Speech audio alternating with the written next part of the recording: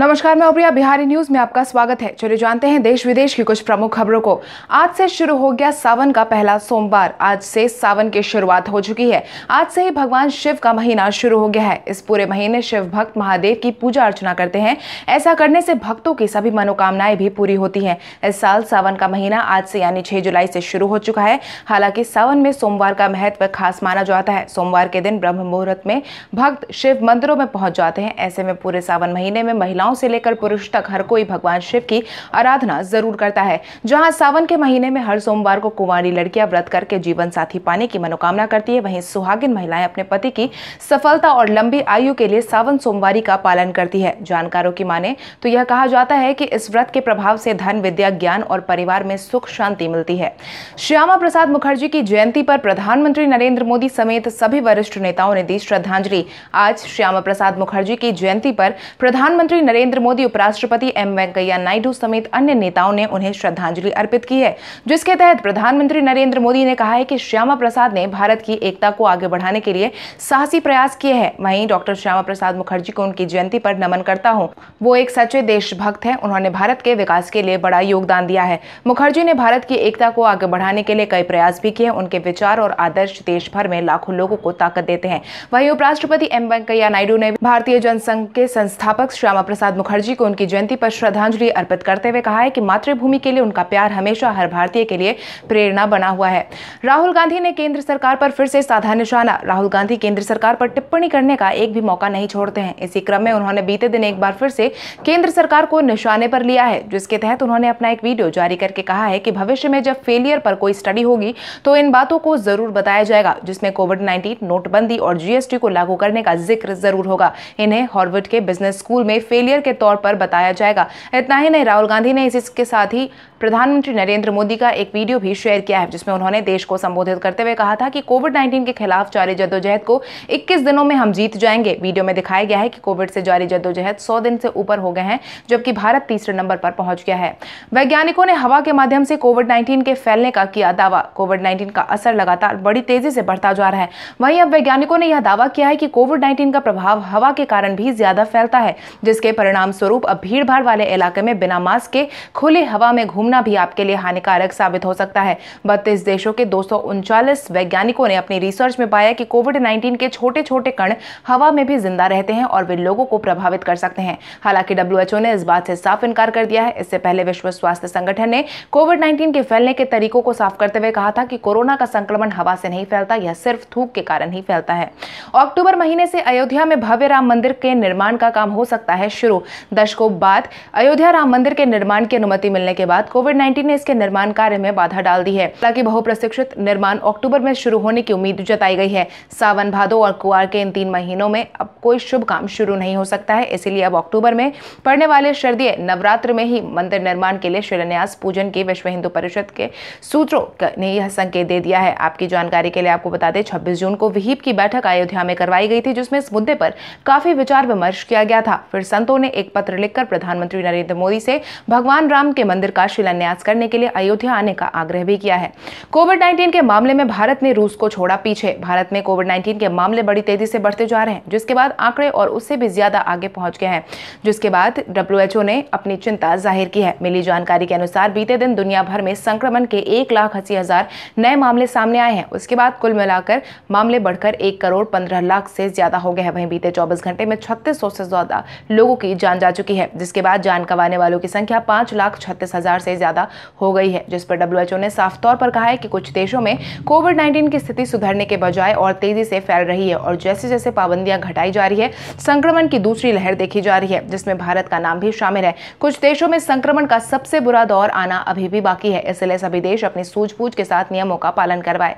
प्रियंका गांधी वाड्रा के पैंतीस लोधी स्टेट बंगला बीजेपी नेता को हुआ आवंटित। लुटियन जोन में स्थित पैंतीस लोधी स्टेट बंगला, जहाँ पर फ़िलहाल प्रियंका गांधी वाड्रा रहती है, उस बंगले को भाजपा के राष्ट्रीय मीडिया प्रमुख और राज्यसभा सदस्य अनिल बलूनी को दे दिया गया है। केंद्रीय आवास और शहरी मामलों के मंत्रालय के एक अधिकारी ने इस बात की जानकारी भी साझा कर दी है। मंत्रालय ने एक जुलाई को प्रियंका गांधी के बंगले का आवंटन कैंसिल करते हुए कहा था कि वह एसपीजी सुरक्षा वापस लिए जाने के बाद आवासीय सुविधा पाने की हकदार नहीं है। सरकार ने कांग्रेस की महासचिव को एक अगस्त तक मौजूदा आवास पैंतीस लोधी स्टेट खाली करने को कहा है। केंद्रीय आवास और शहरी मामलों के मंत्रालय के एक अधिकारी ने बताया कि अनिल बलूनी के अनुरोध पर उन्हें प्रियंका गांधी का बंगला आवंटित किया गया है। उसके बाद कांग्रेस नेता ने बंगला खाली करने पर उन्हें उनका अधिकार सौंप दिया जाएगा। टिड्डी रोधी अभियान के लिए वायुसेना आई सामने, जहाँ एक तरफ़ भारत में कोविड नाइन्टीन ने सबकी परेशानी बढ़ा रखी है, वहीं दूसरी तरफ़ टिड्डियों ने भी किसानों और भारत सरकार दोनों की परेशानी बढ़ा दी है। हालाँकि अब किसानों की मदद के लिए भारतीय वायुसेना ने ज़िम्मेदारी उठाई है, जिसके तहत भारतीय वायुसेना ने टिड्डी रोधी अभियान के तहत रविवार को अपने दो एम आई हेलीकॉप्टर लगाए हैं। इन हेलीकॉप्टर ने जोधपुर के ओसिया उपमंडल में चार वर्ग किलोमीटर के इलाके में मिश्रण का छिड़काव भी किया है। जोधपुर जिला प्रशासन के आग्रह के बाद वायुसेना ने रविवार को अपने हेलीकॉप्टर लगाए हैं और टिड्डियों के बड़े दल को भगाने में किसानों की मदद की है, क्योंकि यह दल शनिवार को जोधपुर के भीकमकोर गाँव पहुँच गए थे। भारत का पहला सोशल मीडिया एलिमेंट्स को किया गया लॉन्च आत्मनिर्भर भारत अभियान के तहत भारत का पहला सोशल मीडिया एलिमेंट्स को लॉन्च कर दिया गया है, जिसे उपराष्ट्रपति वेंकैया नायडू ने खुद लॉन्च किया है। नई दिल्ली में उपराष्ट्रपति एम वेंकैया नायडू ने बीते दिन वीडियो कॉन्फ्रेंसिंग के ज़रिए भारत के पहले सोशल मीडिया एप्लीकेशन को लॉन्च किया है, जिसके बाद उन्होंने कहा है कि आत्मनिर्भर भारत अभियान की दिशा में एक महत्वपूर्ण कदम है। आत्मनिर्भर भारत बनाने के लिए आह्वान करने का उद्देश्य संरक्षणवाद या अलगाववाद को बढ़ावा देना नहीं, बल्कि विकासवाद को आगे बढ़ाना है। एक व्यवहारिक रणनीति को बढ़ावा देना भी ज़रूरी है, जिससे देश अपनी क्षमताओं को पहचान कर सके और उनका सही सही लाभ भी उठा सके। मिली जानकारी के अनुसार इस मोबाइल ऐप एलिमेंट्स के शुरू होने से एलिमेंट्स पर लोग वैश्विक रूप से जुड़ सकेंगे। कोविड नाइन्टीन के इस माहौल में केरल सरकार ने जारी किया नया गाइडलाइन। कोविड नाइन्टीन के मामले लगातार बढ़ते जा रहे हैं। वहीं केरल में कोविड नाइन्टीन से बचाव के दिशा निर्देश को अगले एक साल तक के लिए लागू कर दिया गया है। मिली जानकारी के अनुसार केरल सरकार की नई गाइडलाइन के अनुसार मास्क और सामाजिक दूरी के नियमों का पालन जुलाई दो 2021 तक लागू रहेगा। बिना सरकारी इजाज़त के कोई भी आयोजन नहीं किया जाएगा। केरल के सीएम ऑफ़िस से जारी आदेश में कहा गया है कि आज सुबह छह बजे से ट्रिपल लॉकडाउन, यानी कि ज़्यादा प्रतिबंध तिरुवनंतपुरम में एक हफ़्ते तक लागू रहेगा, जिसके तहत सार्वजनिक जगहों पर एक साल तक मास्क पहनना ज़रूरी होगा। यह कदम कोविड नाइन्टीन को फैलने से रोकने के लिए उठाए जा रहे हैं। केरल सरकार ने इसे लागू करने के लिए अपने एक्ट में बदलाव किया है। राज्य सरकार ने अपनी तरफ़ से यह भी कहा है कि नए नियम जुलाई दो हज़ार 2021 तक लागू कर दिए जाएँगे ताकि ज़्यादा से ज़्यादा लोगों को इससे बचाया जा सके। भारत और अफ़गानिस्तान के बीच शिक्षा के विकास के लिए हुए पाँच समझौते कोविड 19 के माहौल के बीच शिक्षा व्यवस्था को दुरुस्त करने के लिए भारत और अफ़गानिस्तान के बीच में पाँच समझौते किए गए हैं, जिसके तहत भारत, नुरिस्तान, फराह, बदखशा और सभी प्रांतों में शिक्षा की बेहतरी की मदद करेगा और इसके साथ ही भारतीय दूतावास की तरफ़ से इसकी जानकारी साझा कर दी गई है और कहा गया है कि यह समझौते अफ़गानिस्तान में भारत सरकार की ओर से कार्यान्वित उच्च प्रभाव सामुदायिक विकास परियोजना के तहत हुए हैं। इन समझौतों के माध्यम से भारत ने अफ़गानिस्तान के साथ अपने विकास साझेदारी को और मज़बूत किया है। इन पर भारतीय राजदूत विनय कुमार, अफ़गानिस्तान के वित्त मंत्री, उच्च शिक्षा मंत्री अब्दुल तवाब और उच्च शिक्षा मंत्री अब्दुल सुबहान रऊफ ने हस्ताक्षर भी कर दिया है। चीन की नज़र अब पूर्वी भूटान की ज़मीन पर।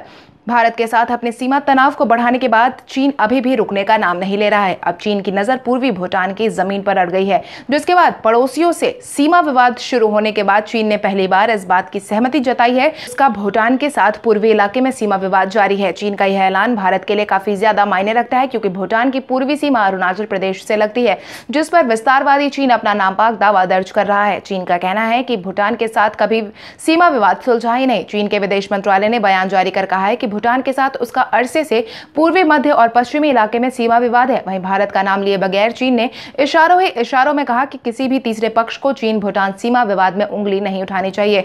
भूटान के अधिकारियों की माने तो चीन और भूटान के बीच पूर्वी इलाके में कभी भी सीमा विवाद को लेकर बातचीत नहीं हुई थी। लॉकडाउन की वजह से रेलवे के कार्यबल में आई गिरावट। लॉकडाउन के दौरान रेलवे ने प्रवासियों को वापस लाने की पूरी कोशिश की है, जिसके तहत अब रेलवे ने अपनी आधारभूत परियोजना समर्पित माल ढुलाई, गलियारा के कार्यस्थलों पर श्रमिकों को वापस लाने के लिए राज्य सरकार से बातचीत शुरू कर दी है। कोविड 19 के मद्देनजर लागू बंद में रेलवे का कार्यबल चालीस हज़ार से घटकर पंद्रह हज़ार ही रह गया है। परियोजनाओं का क्रियान्वयन agency dedicated front corridor corporation limited की तरफ़ से करवाया जाएगा। अभी तक सात हज़ार प्रवासियों को वापस लाने में सफल रही है। इससे, इसके कार्यस्थल पर श्रमिकों की संख्या पंद्रह हज़ार से बढ़कर बाईस हज़ार हो गई है। इसके साथ ही एजेंसी ने श्रमिकों की वापसी सुविधाजनक बनाने के लिए जिला प्रशासन को पत्र भी भेज दिया है और ठेकेदार के लिए ई पास के भी इंतज़ाम कर दिए हैं। सुशांत सिंह राजपूत के नाम दर्ज हुआ एक सितारा। बॉलीवुड अभिनेता सुशांत सिंह राजपूत के जाने के बाद सोशल मीडिया पर उनके प्रशंसक लगातार उनके पुराने वीडियोज़ और फ़ोटोज़ शेयर कर उन्हें श्रद्धांजलि देने का काम कर रहे हैं, जिससे साफ़ तौर पर यह पता चल रहा है कि अभिनेता के जाने से इतने दिनों बाद भी कोई उन्हें अभी तक भूल नहीं पाया है। अब हाल ही में सुशांत सिंह राजपूत के एक प्रशंसक ने उन्हें खास तरीके से श्रद्धांजलि दी है, जिसके तहत उन्होंने सुशांत के नाम एक सितारा खरीदा है और उसे रजिस्टर भी करा लिया है। सुशांत सिंह राजपूत को अंतरिक्ष गैलेक्सी चाँद तारों की काफ़ी समझ थी और उन्हें इसका बहुत ज़्यादा शौक भी था। यहाँ तक कि उन्होंने चाँद ज़मीन पर लाने के लिए टेलीस्कोप भी अपने घर में लगवा रखा था। हालाँकि सुशांत सिंह राजपूत के प्रशंसक द्वारा उठाया गया यह कदम बेहद ही सराहनीय माना जा रहा है। प्रशंसक ने राजपूत के नाम पर एक तारा रजिस्टर करवा दिया है इसका सर्टिफिकेट अब तेज़ी से ट्रेंड कर रहा है। शाहिद अफरीदी ने एक बार फिर से भारतीय खिलाड़ियों को लेकर किया अहम बयान। शाहिद अफरीदी ने एक बार फिर से भारतीय खिलाड़ियों को लेकर दिया अहम बयान। शाहिद अफरीदी आए दिन भारतीय खिलाड़ियों को लेकर टिप्पणी करते नज़र आते हैं। इसी क्रम में उन्होंने एक बार फिर से भारतीय खिलाड़ियों पर निशाना साधते हुए विवादास्पद बयान दे दिया है। आपकी जानकारी के लिए आपको बता दें, अफरीदी ने अपने ट्विटर अकाउंट पर लिखा है कि पाकिस्तान के खिलाफ हार के बाद भारतीय खिलाड़ी माफ़ी मांगते थे। इतना ही नहीं, भारतीय टीम को ठीक ठाक पिटाई हमने कर दी है। हर बार उनकी धुनाई के बाद टीम इंडिया के खिलाफ माफ़ी मांग लेते थे। वहीं भारतीय टीम के खिलाफ दबाव होने की बात पर उन्होंने कहा कि इंटरनेशनल क्रिकेट में हर टीम के खिलाफ दबाव होता है। फैंस चाहते हैं कि आप बेहतर खेलें। मुझे ऑस्ट्रेलिया और भारत के खिलाफ खेलने में मज़ा आया। दोनों बड़ी टीम थी और वहीं दोनों होम ग्राउंड पर खेलने में मज़ा आता था। और आपके ऊपर से उस दौरान बेहतर नहीं कर पाते हैं तो वहाँ से निकलने का चैलेंज ज़रूर होता है। तो चलिए बढ़ते हैं आज के सवाल की और आज का सवाल कुछ इस प्रकार है। आपके अनुसार सुशांत सिंह राजपूत को इंसाफ दिलवाने के लिए सीबीआई जाँच का गठन करवाया जाना चाहिए या नहीं? अपने जवाब हमें कमेंट करके ज़रूर बताएँ। इसके साथ ही आज के लिए बस इतना ही। देश विदेश की तमाम बड़ी खबरों से जुड़े रहने के लिए हमारे यूट्यूब चैनल को सब्सक्राइब करें और बेलाइकॉन दबाना ना भूलें। धन्यवाद।